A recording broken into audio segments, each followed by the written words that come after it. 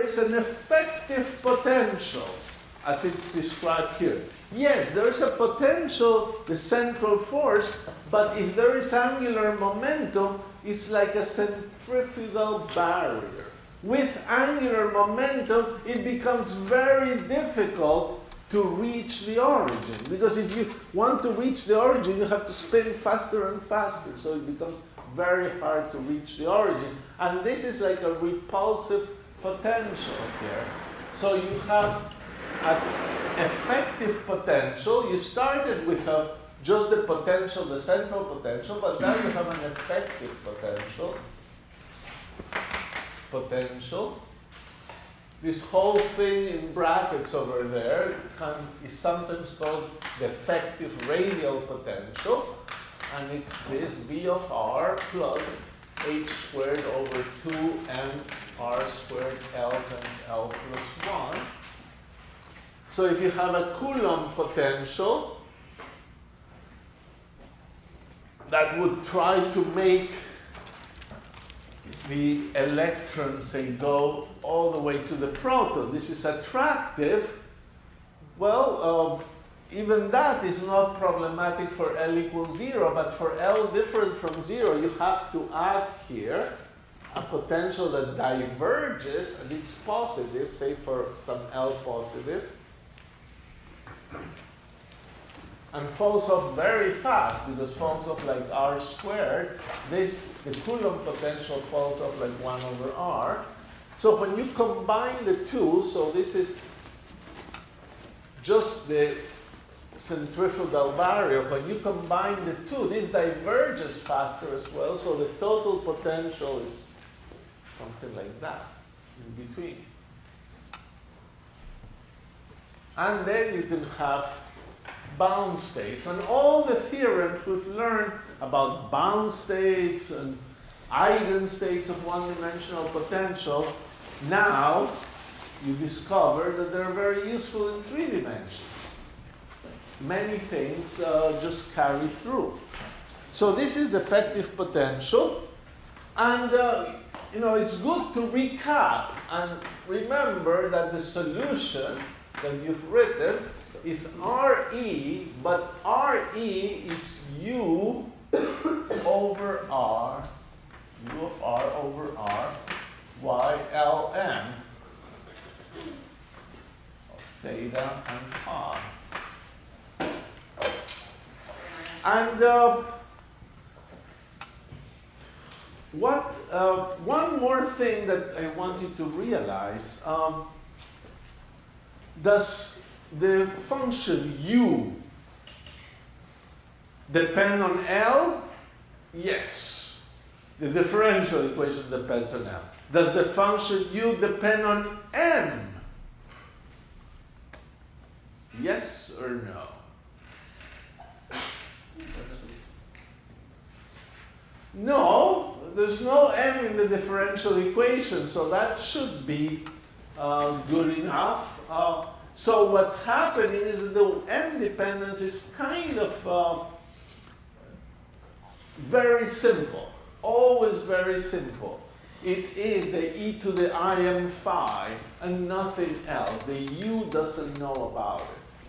On the other hand, the u depends on L, because it shows in the differential equation. So I could write here of E and L because it depends on L and it is the solutions of the Schrodinger equation in one potential. So there will be quantization of energy or there might be stationary states that depend on the energy.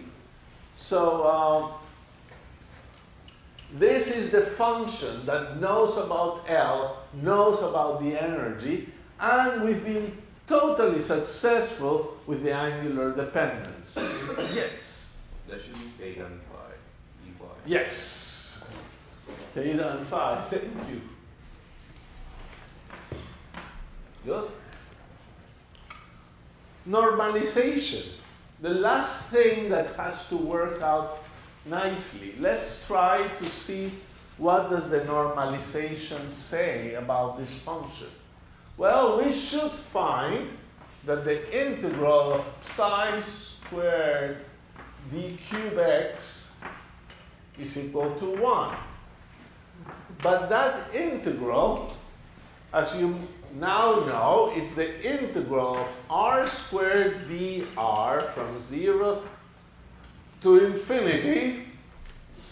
And how do you integrate over volume? You integrate over r, that has the right units, and you integrate over solid angle, the omega of psi squared. So let's do the arithmetic here. We have a y l m star of theta and phi, a YLM of theta and phi. We have a u squared and an r squared. Poor graph. But anyway, you can read it. Uh, now what happens is uh, just good stuff. Uh, r squared cancels. And the solid angle integral is a perfect integral for our normalization. So this gives you 1. And therefore, the end result for all this integral is just the integral from 0 to infinity of dr u of r squared. And that must be equal to 1. So not only is little u a nice variable that satisfies a one-dimensional Schrodinger equation, but you can remember that your more complicated wave function will be normalized if u is normalized in the one-dimensional sense. If u squared integrated over x is equal to 1, yes, you're normalized. So, uh, so the setup to convert um, the three-dimensional differential equation into a one-dimensional differential equation has been very successful. We've reduced it to a one-dimensional problem. We have to solve those. Uh, each time somebody gives you a spherical potential, you look at that equation, the radial equation, and try to solve for u's.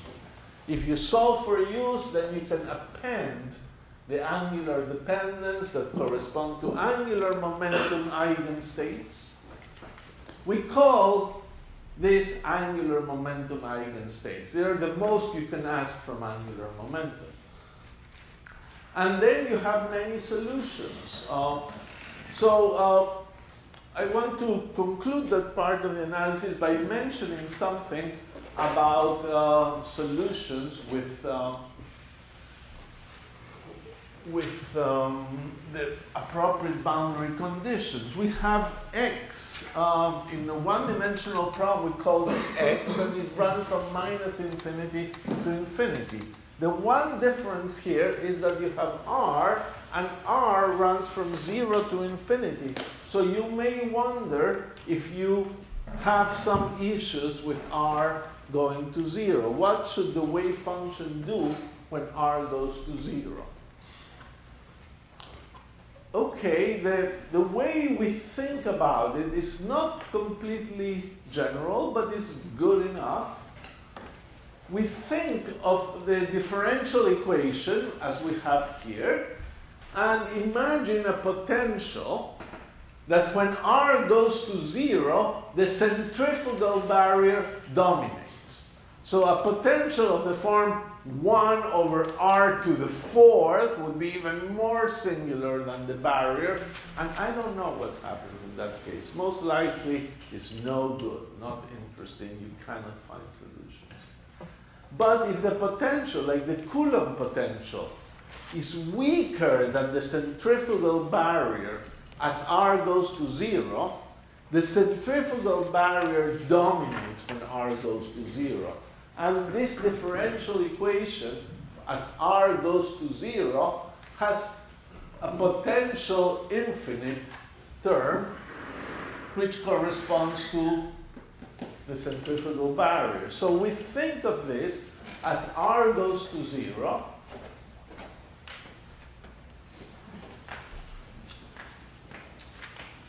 The differential equation roughly becomes minus h squared over 2m d second u dr squared plus h squared L times L plus 1 over R squared uh, U, roughly 0. At least the leading behavior uh, of these things uh, should work out correctly. So uh, the h squared, oh, here's a 2m as well, I'm sorry. The h squared over 2m's cancel and you get the second u the r squared plus, no, is equal to L times L plus 1 over R squared u. And we're only interested for this as R goes to 0. And it's not an exact statement, it's a discovery, we're trying to discover what's happening with the wave function near r equals 0. Well, this has two kinds of solutions. You can try a polynomial. Um, so this could go like r to the L plus 1. If you take two derivatives, that works out. You get an L plus 1, an L, and it solves the equation. Or r to the minus L also solves the equation. As you could imagine, this is going to be problematic in general. It's too divergent. It will not be possible to normalize it in general for arbitrary values of L. So this is so this is a very brief analysis. Uh, I'm not going into all the detail that probably this deserves at this moment, but this is ruled out and this is ruled in. The only thing, so it's true that um, this one is ruled out and it has problems uh, for normalization because it's too divergent as L. But for L equals zero, um, it's not divergent. But for L equals zero, there's a, another reason why this is not good. It turns out that for L equals zero, this doesn't quite solve the Schrodinger equation, the exact Schrodinger equation. Um, so the bottom line of this analysis is that we will have u of r behave like r to the L plus 1 as r goes to 0. And in particular, uh, when L is equal to 0, U of R will behave like R, so it will vanish as R goes to 0. So the only question is how fast it vanishes. It vanishes as R goes to 0. For L equals 0, it vanishes even faster for higher L. So it always vanishes, the wave function at r equals 0. And that's why we can usually think of it as having an infinite barrier. You know, the, the wave function could not exist for r less than 0. That physically doesn't exist. And the boundary conditions are such that that cannot happen. All right. We've finished the discussion of um, the radial equation. Now, our main interest with the radial equation, of course, is at this moment the hydrogen atom, so we're going to turn to that.